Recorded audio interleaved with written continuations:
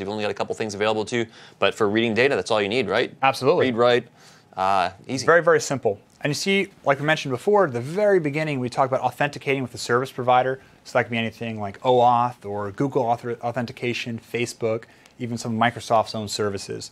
So this way we can say, well, maybe we want the, the user to actually sign into one of these services first, and then we can verify if they actually are who they really are and add that to their profile.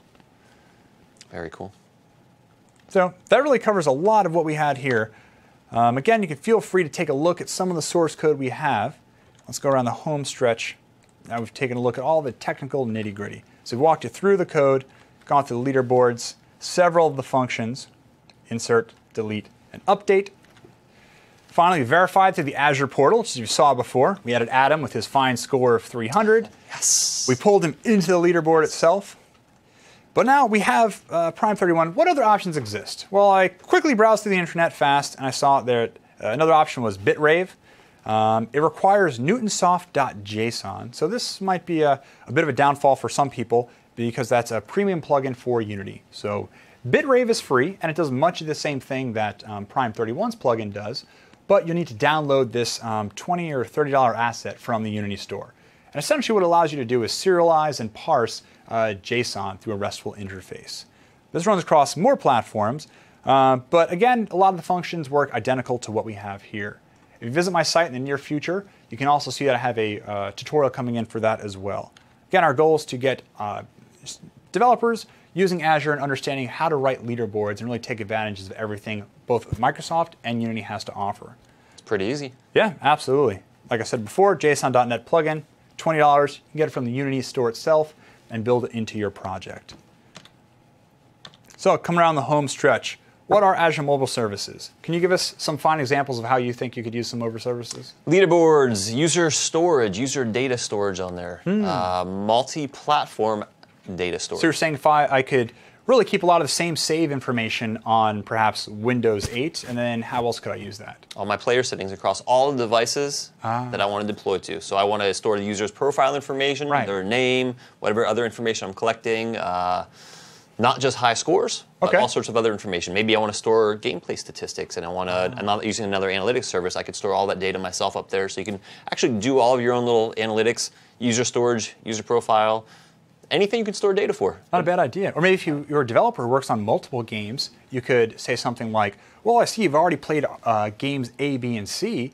Um, in that regard, why don't we give you games uh, D, E, and F for free, or perhaps at a discounted rate? So their own backend, they could say, You've already logged in through um, OAuth in this way.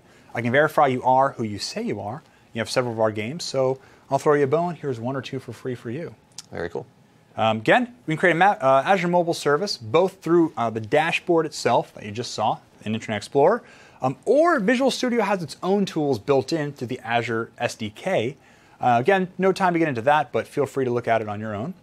Uh, compiling our project, we uh, want to understand how the DLLs work. So again, very quickly, uh, Unity will look at the plugins folder for any DLLs it has in there. Then, as you're building for a specific platform, it's going to look for, say, Metro or WP8 for Windows Phone 8. Those are essentially uh, preprocessor directives that Unity has built in already. If I'm going for Windows Phone, it'll look just for those plugins and build Azure for that platform, or DLLs for that platform. Again, if you're looking for other options in the future, Bitrave always exists as well, but again, that requires a $20 um, additional plugin. This source code and more, and more is all available um, at github.com. So feel free to look for me on GitHub. Um, ask any questions you'd like there. So I have uh, many detailed tutorials along with uh, about five or six times as many slides as we have here. Nice. step by step instructions. If you have any questions along the way, feel free to ask. But uh, I'm confident that uh, you'll have no problem getting started as well. So thank you again for joining me today, Adam. Thank you. That was a wonderful session, and join us next for our final session of the day, adding the finishing touches. We hope to see you soon. Thank you. Thanks. Welcome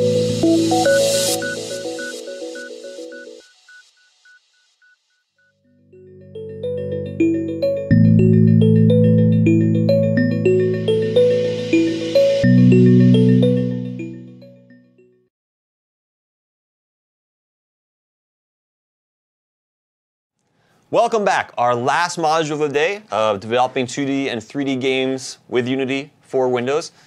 I think this has been awesome. I, I've had a great time. I'd This has been amazing. I know I've said it over and over and over again. I'm so happy about Yeah. this. I think this has turned out well. Hopefully, you've gotten a lot of good information from this. But I do want to point out that the uh, folks watching this live right now, hang on for a little bit at the end of the session after we say goodbye. Uh, I've got some directions for uh, a couple little random drawing that we're going to do for a few of the folks that are joining us today. So just hang tight at the end, and let's get rolling on adding the finishing touches, Module 10, the last one of the day. Beautiful. All right. Home stretch. Let's talk about what we're going to talk about. we're going to go meta, talk about what we're going to talk about. In our module overview here, we've got live tiles, integrating a privacy policy, a pause screen for your application, and in app purchases. And we're going to do this all in Zombie Pumpkin Slayer. yeah. I had to make sure that was working there. Very nice. These guys in the back are awesome. yeah. Woo. so, live tiles. Okay. Very cool way for folks to integrate additional pop into the application. Okay. Yeah, the idea behind this module is there's things that you want to do in your game to differentiate it from the rest of the games. Right. Um, leaderboards, your session. Right, in fact, I tried to do leaderboards during the break. I thought it'd be really cool to get them integrated Yeah. in ZPS during the uh, the break here, and we almost got it. we got it up and running. Got up and running. Got it actually querying Azure. I just didn't have enough time to do the GUI elements to list all the names in there, but it was Yeah. it was close, and we only had about a you know 15 minute break. Yeah. So live tiles. They give the user extra info. A great example of this. Let me show my start screen on these computers here. Very nice. I like that. See I like the little pop going on here? Live tiles. They one, they kind of catch the user's eye. Two, they give relevant information without always having to go into the application. So in news and weather, stocks, three things that I use it for all the time. So what we can do, being that we're doing gaming here, mm-hmm. is talk about ways that a game could maybe have you come back easier to the game. You want to entice people to come back to the game. Right. So, cut the rope, for example. That does a really neat way of doing it. They show you how many stars you've got. It's kind of an enticing way to come oh. back. So, how do you use a live tile? What is a live tile? We saw that they flipped. Are you limited to the size of them? Right. There are many, many, many, many different tile templates that you can use. It looks like it's displaying information of some sort, but I guess it doesn't always have to do that. It can be just a simple message. It could be an image. It can be a gallery of images. Like on here, I show an example for Windows, bunch of image tile format. This is tile wide 310 by 150 image collection. So this is actually the template name that you would use if you wanted to do this. Okay. And you can do this in games. You can do this in C Sharp XAML applications. You can do this, you know, desktop or uh, uh, Windows Store applications, Windows Phone applications as well. Yep. On the C Sharp side, outside of the gaming side, you can do this. Um, if I go to a browser here,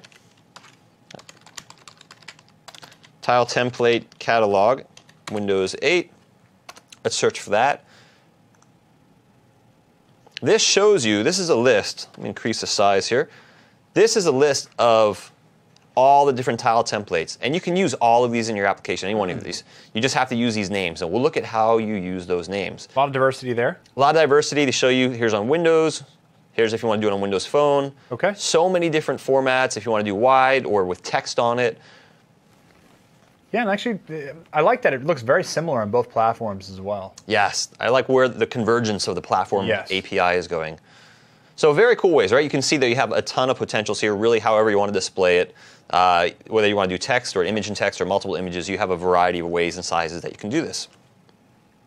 Now, with tiles, you can include them as local tiles in your application. In other words, they can be something included in your project, or they can be a remote tile. So you can actually point somewhere on the net. Yeah. And your application can pull that down from that location and set that as a tile. So maybe if I want to send people updates or things, uh, perhaps seasonal information um, later on, I don't have to actually rebuild and republish my entire app. Correct. Correct. So you can use something on the net, point them to an image out on the net. Uh, Prime 31, actually, when you download, because we're going to be using Prime 31 here today, when you download it, install it, they have actually an example of pulling a remote tile down from the net. Beautiful. Very cool. So you could write a service around that, maybe a website or an Azure, mo- Azure mobile service, and uh, use the data and services, server-side services, to bring back data. Really cool things that you could do there. I like it. All right, so for this, we're going to be using one of the plugins from Prime 31. This is the Microsoft Essentials plugin. Of course, you want to go to prime31.com and you want to install the package into your project. In other words, you double click on the package that you download from their website. Uh, early on, when we talked about architecture, the first module went over what packages are, and they're just simply a way that you can redistribute stuff uh, that you can use across your projects. Okay. So the Prime 31 plugins come down as a .unity package file. Double click on it, it goes into your project. Now, last session you were showing that with Azure, you had to add the P31 Metro Azure DLL Yes, correct. to unprocessed DLLs. Okay. So in this case, it's slightly different. We need to do this one as well. P31 Metro Essentials DLL, and we'll look at that inside of Unity to what that looks like. And ensure you have Windows Store selected as what you're building to. This does not run in the editor. This is meant for when you do your actual build because this calls into a platform-specific API. correct. And I add a little tech note here just for the folks that like to really understand how things are happening because uh, Unity will generate your Visual Studio project as Jason was showing yesterday. It doesn't overwrite that project. So if you happen to have your project already generated, your Visual Studio project, Okay. and then you decide later on to install Prime 31 in, well, that project needs references to those libraries. Right. So either you can do a comparison between a new generated project and an old one, and you can see where your C Sharp project differs. Yeah. Update the post build step, add the reference manually. You can. I've done it before manually. All right. Uh, or you can just, if you don't have anything custom in your project, you can just delete the build that Unity creates for you and just have it regenerated again. So that's many why I have a little note. cat. Many ways to do it. Some folks like it, the technical information. So I just wanted to add a little note on there for it. All right. What do you say we do a demo of this? I'd love to see this. Okay. So first, let us do this. I'm going to turn this off so we don't really get a full preview of what's going to happen here, Okay. even though I know you just saw it. Very vibrant dashboard. I like it. and we can see what I was doing during the break here with trying to get the leaderboard integrated here. So actually this window is going to look a little funny when we do our build because we were concentrating on getting this as opposed to the size of this. Yeah. So we'll notice when we finally export, we're going to get a little extra um, blue probably on the background. The title screen will need a little fixing, but that's okay. We'll talk about it now and you'll know what's going on. So in here, I've downloaded and installed that Prime 31 uh, project in here. And as you were mentioning in your session, we get things that show up in plugins, Metro, Okay, looks like platform specific folders. Metro Essentials, Metro Store. So we're going to talk about the Metro Store shortly. For Metro Essentials, we can just simply double click on test out a scene here. But I've got this code brought into my application. Okay. So let us load this up over here. And let me find, we're going to check out a couple things here. Mm-hmm. All right. We've got this that we're going to look at in one moment. Right. Again, platform specific code. Hence Platform specific code. Processor directed. That's right. And I'm going to load up my build settings here. Control Shift B for the hotkey fanatics. Yeah. Windows Store is my player. Now, one thing that got me when I first started Unity is everything defaults in a project to being a PC standalone build. Okay. Uh, if you need to make it a any other platform, you actually need to highlight that platform and click Switch Platform. Ah, Otherwise, you you're just not click, actually. but don't switch. Just click it doesn't do it. You've got to actually Ah. switch platform and it re-encodes and processes and does a bunch of stuff on the back end. Ah.